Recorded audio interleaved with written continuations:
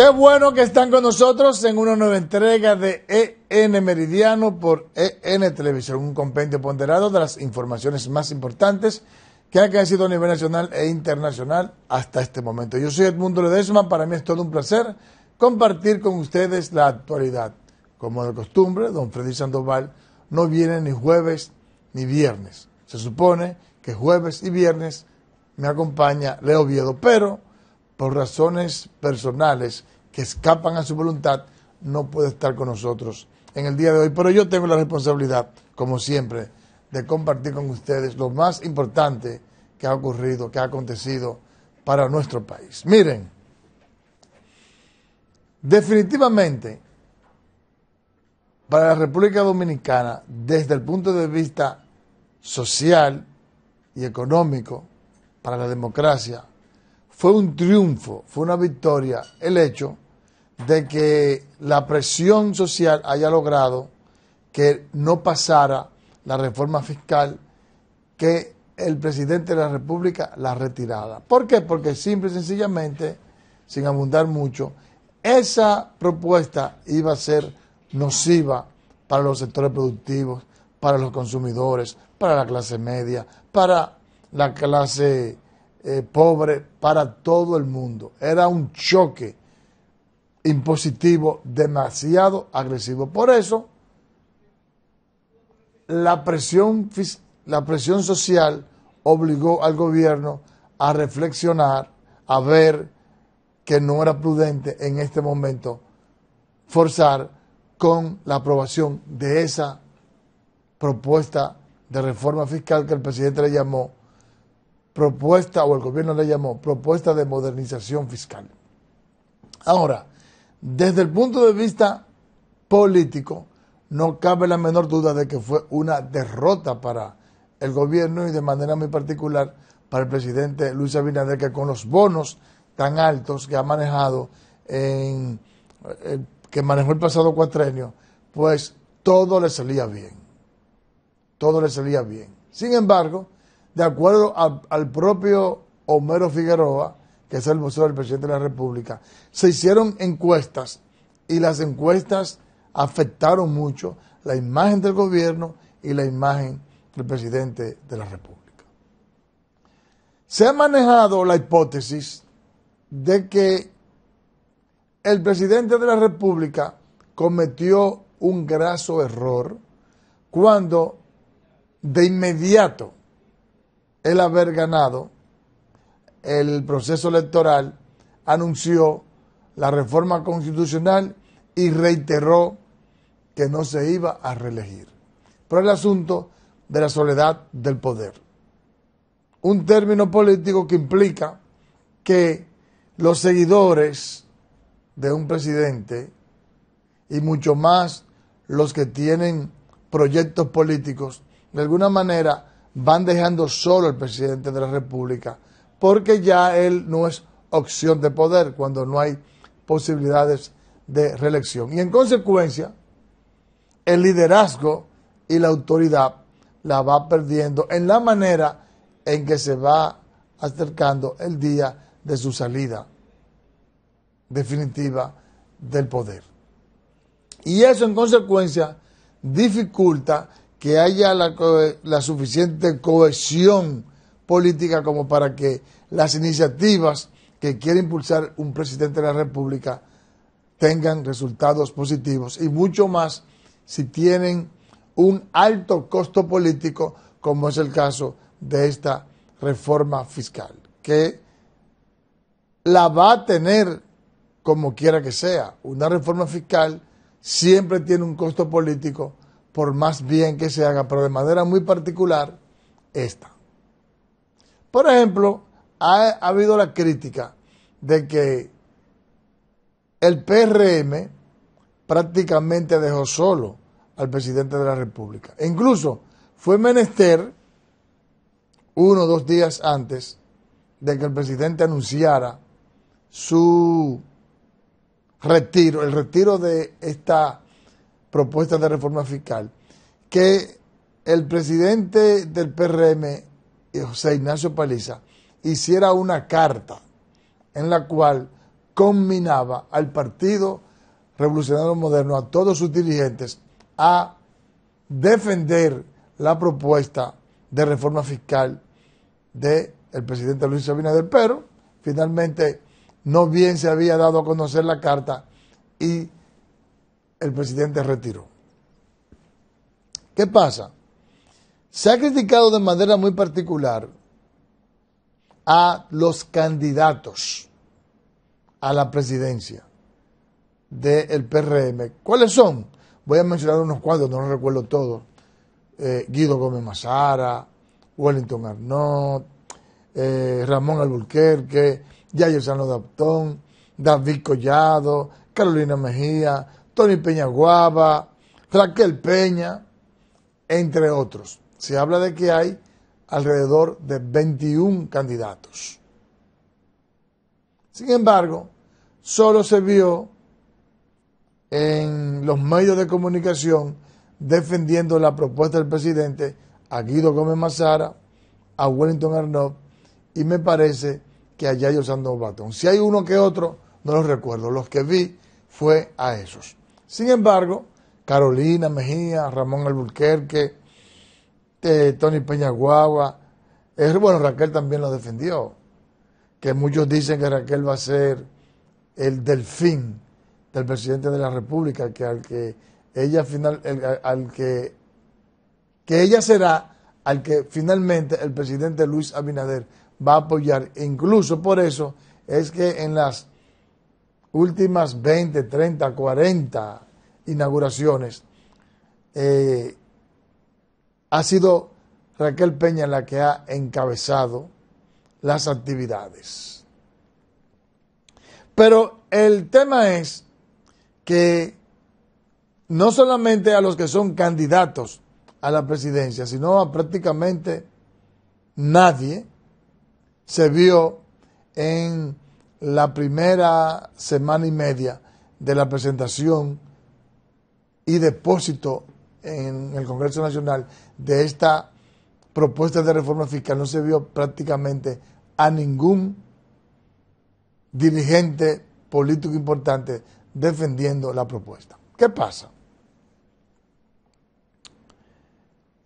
Todos o una gran parte de analistas políticos entienden que eso se debe a aquel error que mencioné de él anunciar que no se va a reelegir, de juntarse con los posibles candidatos y reiterar de manera, digamos, eh, eh, firme que no se va a reelegir. Sin embargo, yo me hago dos preguntas. La primera es, el presidente de la República y su equipo económico socializó adecuadamente esta reforma con el PRM.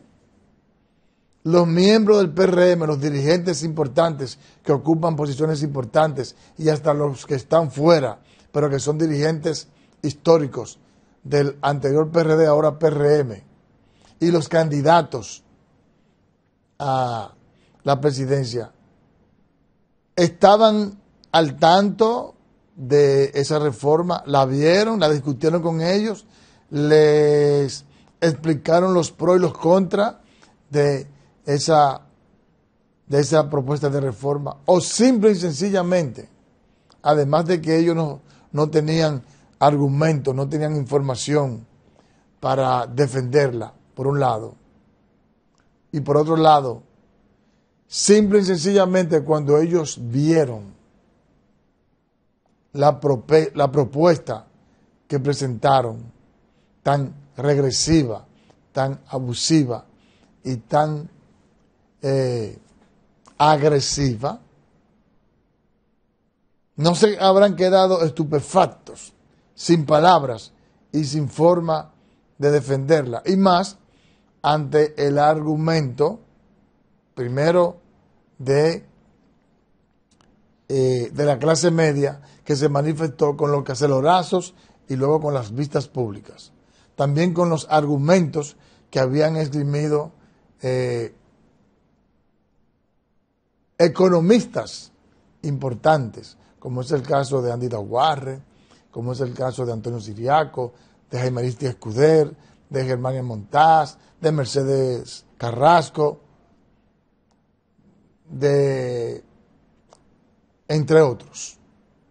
Incluso, incluso hasta los más conservadores, economistas que no gustan mucho de enfrentar al gobierno y que siempre tienen una declaración un tanto diplomática, aunque se deje ver así en esa declaración que están haciendo una crítica, pues sencillamente se exacerbaron.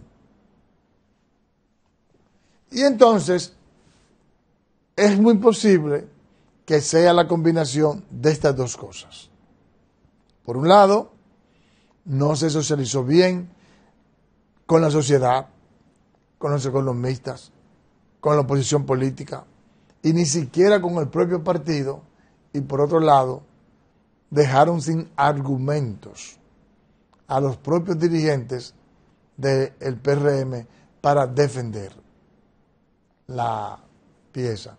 Algunos fueron lo suficientemente valientes, como es el caso de Guido Gómez Mazara, como es el caso de, Wellington Arnaud, que a sabiendas, porque sabemos que son personas con formación y de manera muy particular Guido, que es muy sensible a precisamente hacia la clase desposeída, su discurso es socialdemócrata y su discurso siempre es en protección del desvalido. Entonces, evidentemente que él defendió su presidente, defendió su gobierno, creó un sofisma para defender esa pieza que definitivamente era insalvable. Era inaceptable como finalmente comprendió el gobierno. Entonces, hay un tema, y es el siguiente. El gobierno, luego de sacar, de retirar la pieza, cuando se interpeló el presidente en torno a qué iba a hacer, porque hay un mandato de la Estrategia Nacional de Desarrollo, una ley orgánica y constitucional de que se debe hacer una reforma fiscal, que muchos entienden que el presidente fue lo suficientemente valiente diferente a como hicieron otros expresidentes que no presentaron una propuesta, como es el caso de Danilo Medina. Eh, yo no puedo hablar, de Donald Fernández porque la Estrategia Nacional de Desarrollo se firmó en el, en el 2012, precisamente cuando él salió. Pero Danilo Medina tuvo las posibilidades porque tenía el poder político y porque en el periodo 2012-2019, la economía dominicana y el mundo eh, tuvo un ciclo económico de crecimiento.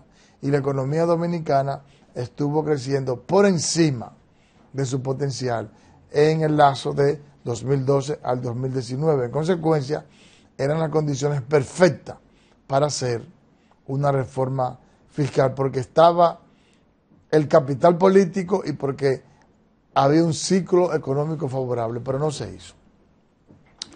¿Qué pasa? Que ese fracaso económico, luego de haber dicho el presidente de la República que se pensó por mucho tiempo, le ha indicado a muchos que ese equipo económico no da para hacer las reformas que amerita la República Dominicana, para hacer esos cambios estructurales que permitan desarrollar más el potencial de crecimiento económico, de desarrollo y de progreso que tiene la República Dominicana. Ayer Iván de la Fuerza del Pueblo, dijo, eh, ayer lo presenté, que en una entrevista que le hicieron, él dijo, ese equipo económico no da para más, hay que quitarlo. Pues en el día de ayer, los diputados de la Fuerza del Pueblo indicaron o le pidieron al gobierno que cambie ese equipo económico porque ha fracasado. Veamos esta historia. Gracias, buenas tardes. Los diputados de la Fuerza del Pueblo entienden que el equipo económico del gobierno no merece estar en ese lugar porque son incapaces de hacer una propuesta de reforma fiscal que vaya acorde con la realidad que vive la mayoría del pueblo dominicano. El vocero del bloque de diputados de la Fuerza del Pueblo, Rafael Castillo, expresó que esa reforma es el producto de la improvisación del equipo económico gubernamental. Esa reforma, más que una reforma, fue un bombazo fiscal que explotaría en los bolsillos de la clase más necesitada ya que el 72% de lo que recaudaría se recaudaría a través de los impuestos a bienes y servicios. Solicitamos la destitución del gabinete económico completo, ya que dicho paquetazo era más lesivo que las medidas tomadas en el 1984. De inmediato los diputados oficialistas rechazan la propuesta de destitución, llamando a la oposición a concertar sobre una reforma equilibrada. De igual manera, el gobierno está en una oportunidad, eh, yo diría yo que propicia para que tengamos esa conversación con tiempo y sobre todo en el caso de la Fuerza del Pueblo y el PLD, que son dirigidas por dos expresidentes de la República, que los dos han establecido la necesidad de la reforma en diferentes estadios de la vida del país. Gracias. Hay tiempo para rectificar un presidente no puede estar con un machete en la mano cortando cabeza a todo aquel que en un momento determinado quizá no, cumpla a cabalidad con los propósitos y siempre hay momentos de rectificar. No creo que tenga el presidente que destituir esas personas. Eh, yo creo más en reforzar el equipo económico, reforzarlo. Eh, aquí hay economistas que el gobierno pudiera perfectamente auxiliarse de ellos para reforzar su equipo y seguir hacia adelante. El vocero de la principal bancada opositora en la Cámara de Diputados señaló que no se concibe este miércoles se aprobaran 625 millones de dólares, equivalentes a 38 mil millones de pesos. El bloque de diputados de la fuerza y al final no benefician a las grandes mayorías.